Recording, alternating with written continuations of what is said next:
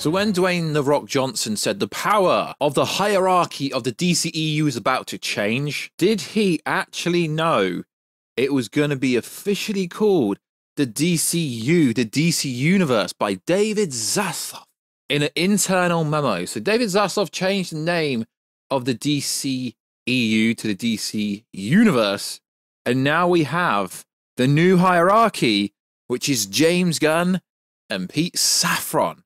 And I don't think The Rock's happy about it. Why? His company, Seven Bucks Productions, his partners, have all congratulated James Gunn and Pete Safran, and The Rock Dwayne Johnson hasn't said anything, even though he's actively still talking to fans and t- replying to fans on Twitter. I don't think he's happy. Yo, what is freaking good, YouTube? What's you here with a video on the future? We've got to change it of the DCU. If you are new around it, make sure to subscribe to never miss any of the Marvel DC pop culture based content that we try to do on a daily basis. If you could, subscribe to the channel, turn notifications on, and let me know down below what is going on in the DC universe. So, uh, let's break it down. So, I hate to say it, even with Henry Cavill being all in with Superman, He's been bombarded with questions to the point where he's actually getting annoyed repeating himself. Okay, he's he's too nice of an English gentleman to get annoyed, but you can see he's getting a bit irritated answering the exact same question when asked about Superman at the Enola Holmes 2 press junket for Netflix. So, even putting super I won't call him Henry Drizzle. I know you guys keep getting annoyed at it. I read the comments.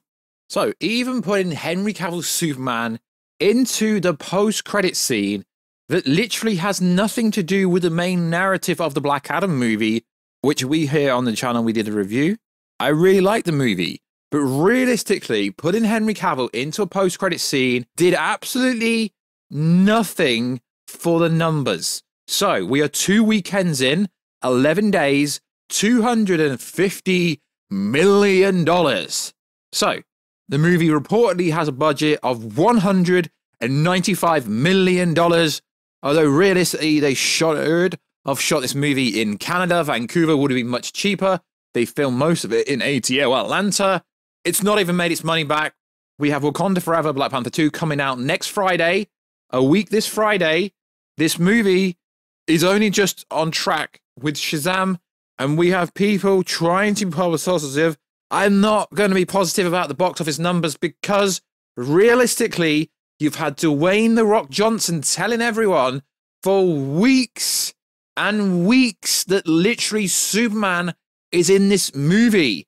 Yes, we get it. Henry Cavill Superman is very popular to the point, and I will address this to the point where now he's not going to be shooting The Witcher season four.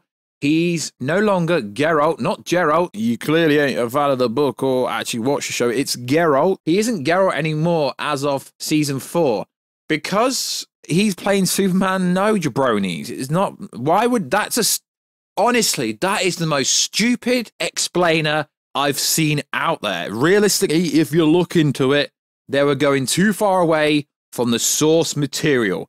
Everyone else on the Witcher show has had their contracts renegotiated for season four which tells you even though Henry Cavill promised seven seasons, the initial contract was for three seasons. So it's pretty much looking like they were turning the source material, going too far away from it. So it's a joke. Sure, Superman might, he might have had a little bit to play. It might have had a tiny part to play, but no, he didn't turn down Witcher season four, five, six because of Superman. That's the most stupid answer ever.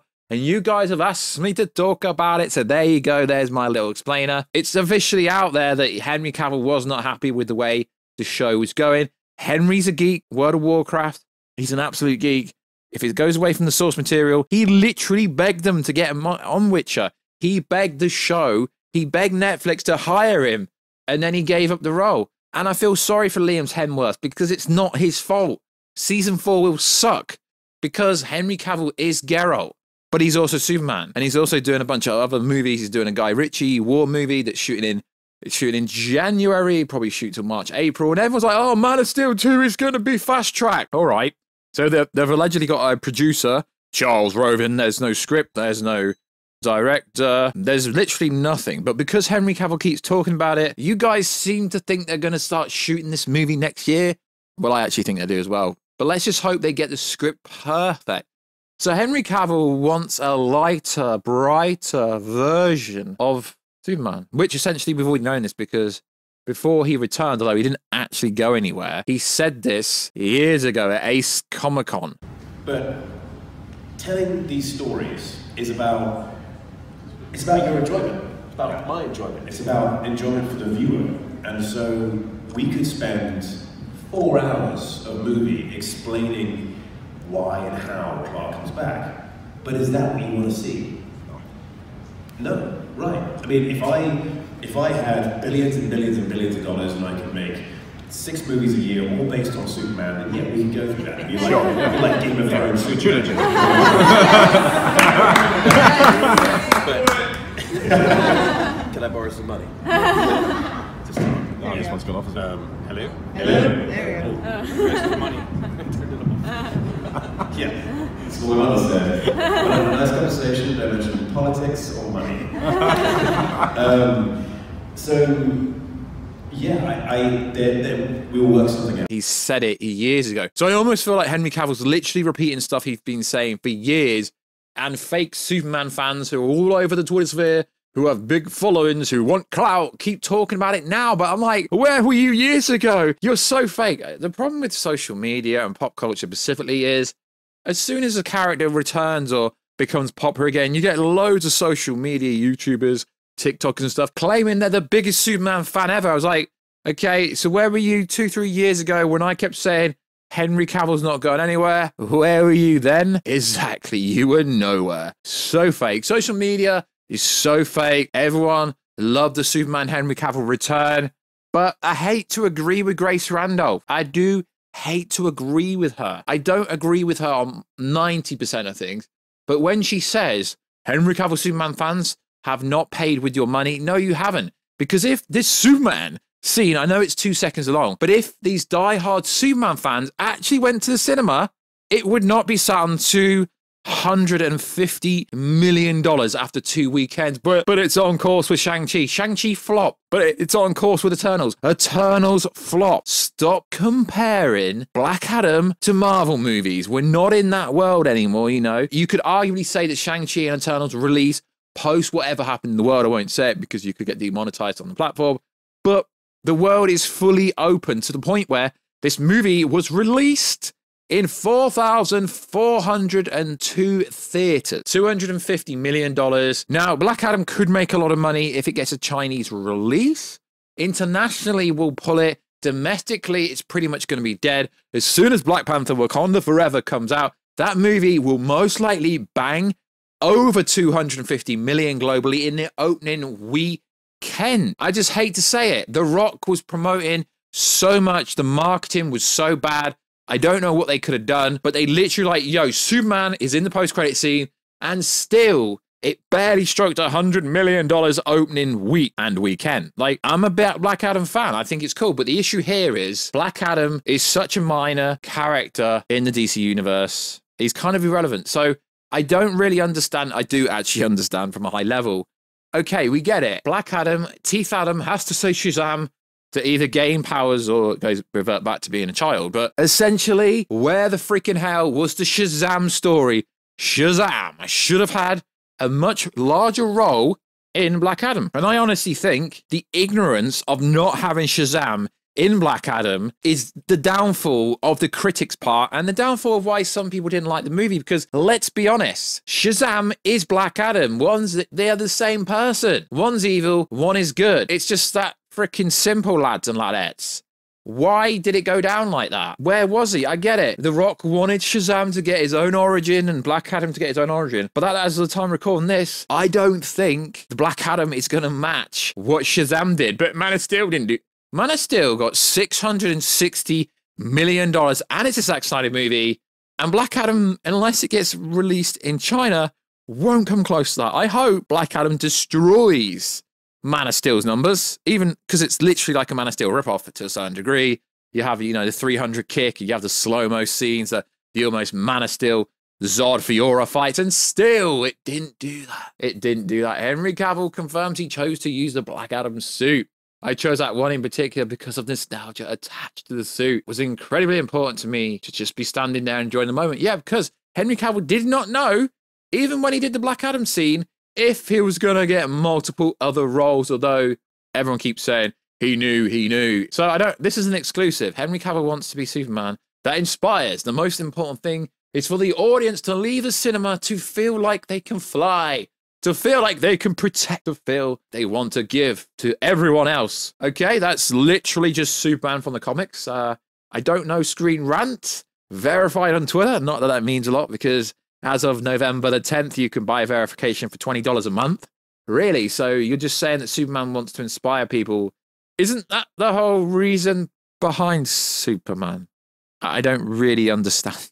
That's literally the idea behind him. He's supposed to be an alien from the planet of Krypton. Krypton explodes and he comes to Earth and it's his new home and he wants to protect and inspire everyone. That's somewhat the role. And Henry Cavill said in an interview with Entertainment Tonight, it's my duty to make sure I do the justice character for Man of Steel 2. And some people think because he keeps saying, I can't talk about Man of Steel 2, I can't talk about the next Superman movie, that Henry Cavill knows exactly what's going on with the movie. No, because they've literally publicly said there is no script, there is no director. Sure, bro, Henry Cavill's had ideas for years. Zack Snyder wanting to bring the Kryptonian Brainiac into the equation, and yeah, to be fair, that would have been the best storyline. And to be fair, at this point, I think Zack Snyder could return. I really think Zack Snyder could return to shoot the to direct Man of Steel 2. But if that's the case, you're going to have to wait a little bit longer for Man of Steel 2. I'm not saying Henry Cavill and Zack Snyder are going to work together, but uh, you never know. They kind of, I can't wait to work with you again, Henry. First did uh, Man of Steel, and we were doing the flying shots for the first time, and we put you in the belly pan or on the wires. Uh, I can't remember which we did first. Did feel odd to be, you know, just there in front of green screen, doing your flying, you know, shots, you know, with us just touching the camera, and uh, you having to act like you're flying, but you know, before you had ever seen what it might look like or what it might feel like. Was that? How was that? Was that odd, or and did you expect it to turn out the way it did? So, that's my question. Um, I can't wait to work with you in the future, and you are, of course, the greatest Superman ever.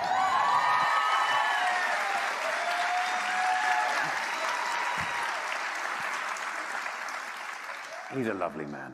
He's a lovely man, and I'm, I'm enormously appreciative of, um, everything he's, he's done for me, especially by casting me in Man of Steel. Um, those are uh, formative memories of mine, uh, career-wise. It was when everything changed, and I remember them fondly. Yeah. I remember fondly hanging above fields. in, it was Illinois, and uh, uh, just outside of Plano. Um, amazing memories and a lot to be thankful for. So, uh, Zack, if you're watching um, on one of these many cameras, uh, thank you. Thank you, my friend. That he said during the interview on the podcast that he did live last week. Is it a conspiracy? James Gunn's very good friends. And yes, I see the clip going around. They'd share a beer together. So they're busy friends. That does not mean the Snyderverse is going to be restored, but quite frankly, I actually do think the Snyderverse will be restored to somewhat degree, hearing inside information from behind the scenes. But this video isn't about the Snyderverse. But off the cuff, if you made it, let's have a look. If you made it like 12 minutes in, you'll, you'll know this. Comment down below. Yeah another video later in the week, I've I've heard some stuff about the Snyderverse returning. And no, this ain't your geekosity throwing darts at a wall, made up nonsense. I've honestly heard some stuff behind the scenes, which I may share in a video, I may not. It depends if you guys want me to. So Henry Cavill is all in. Black Adam has flopped, sadly, and the DCU is going to be run by James Gunn and Pete Safran, who was the producer of Shazam, which makes Shazam 2 even more prevalent because it's got to do well because the new co-head of DC is the producer and will continue to produce movies for the DCU. The Rock is not happy with that story. He's like, yeah, we're going to find someone to take charge. I don't think The Rock personally knew. I really don't think he knew because why hasn't he congratulated them? He's like, yeah, whoever comes in, they're going to help us and we're going to do all this stuff. Well, The Rock may have Hollywood power, but if the Black Adam movie flopped, which realistically, as I keep saying, $250 million, going to have to make somewhere between 550 to 600. Because what happens is you get a budget for the movie, which is just under $200 million. Let's say marketing budget's 100, 200, that's 400, small percentage. It goes week by week by week. The sinner gets a massive percentage and then the money. Yeah. So, in other words, it's got to make over $500 million to break even. I mean, this movie doesn't even look like it costs more than Shazam. Why do they shoot in Vancouver? Why do they go to ATL Atlanta? It's more expensive. You should always shoot in cheaper locations to make more money.